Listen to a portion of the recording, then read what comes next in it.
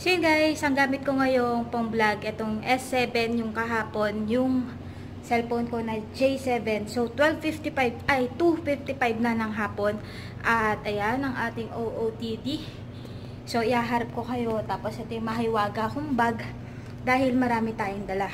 Pero bago yun, saksak muna natin itong uh, doorbell. Kasi hindi ako pwede pumasok na maaga.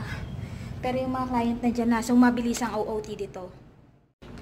Ayun guys, yung top na yan from uh, bench. Ito, naglagay ako nito para hindi madumihan yung puwetan ko. Bench din siya. Ito guys, kulots to. So, nagmukha na siyang tokong. Kasi ang laki ng hita ko. So, from G2000, tapos ito yung pinost ko sa uh, IG. Ayan. Yan yung aurahan natin. Woo! So, picture muna, then yung peg ilalagay ko dito kasama nung picture ko ngayon na OOTD.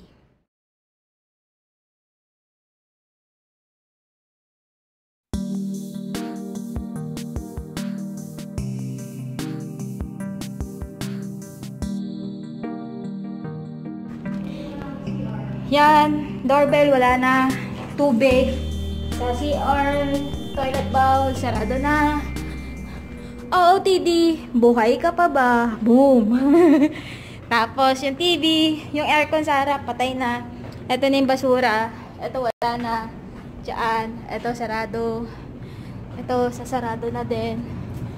Yan. Sa taas. Tsaka to. Baba na natin yan. Tsaka yung TV. Yan. Yung trigger, pinaka-importante, nandito. Naka-off siya. Yan, naka-off. Tapos, mag-out na kami. Pero bago yon isang mabilisang linis. At, hindi ko na kayo haharap sa wall. Walang dumi. Yung ilalim. Walang naiwan. Tsaka dito, ayan lang yung mga ginamit. Yung red. Tsaka yung gray. So, ayan. Tapos, itayo natin to. So, ayan. Okay, guys. Ha, hinihingal na ako. Bye-bye. Selfie.